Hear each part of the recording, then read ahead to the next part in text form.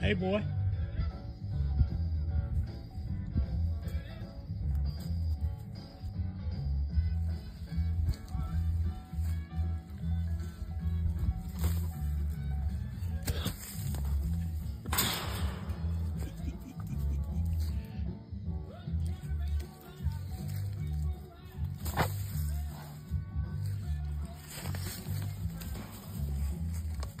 You